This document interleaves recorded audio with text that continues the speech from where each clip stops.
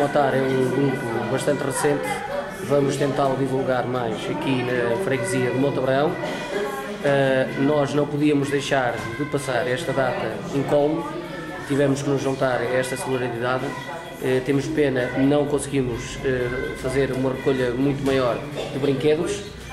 para o ano vamos prometer que vamos fazer muito superior. vamos entrar em contato com os nossos amigos e companheiros de uma das motas que, como toda a gente sabe, eh, o pessoal das motas é muito solidário. Nós, em qualquer coisa que nos colocamos dentro de solidariedade, estamos sempre prontos a ajudar e não podíamos deixar de passar esta data sem também tentarmos ajudar o mais possível. É um pequeno contributo, eh, também não podíamos eh, ultrapassar ou deixar esta data porque na pessoa da Sr. Presidente Fátima Campos, que é uma pessoa que está sempre pronta a ajudar-nos também a nós, e nós também não podíamos deixar esta data sem eh, nos lembrarmos de ajudar os outros. A freguesia foi criada em 97, houve eleições em dezembro, começámos a funcionar em janeiro de 98 e já nesse Natal nós começámos a dar acabados de Natal, em menor número e de ano para ano vai aumentando e este ano mais ainda.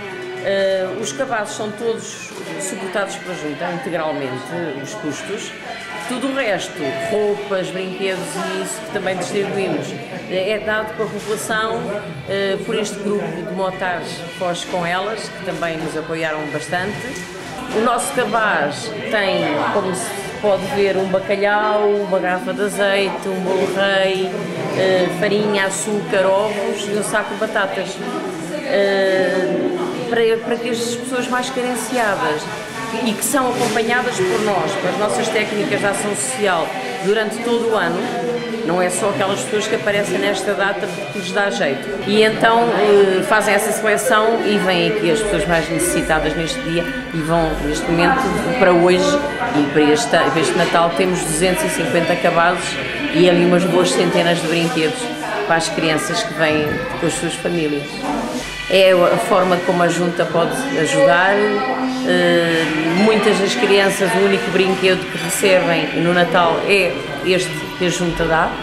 E, e pronto, e tentamos que essas pessoas tenham um Natal mais ou menos parecidas com as outras pessoas que têm mais possibilidades. Eu sou muito otimista e tenho sempre muita esperança e muita fé. Temos é que ser sempre mais solidários com o próximo e pelo menos conseguimos dessa forma colmatar as necessidades dos nossos amigos, dos nossos vizinhos, das pessoas que conhecemos que tenham mais dificuldade.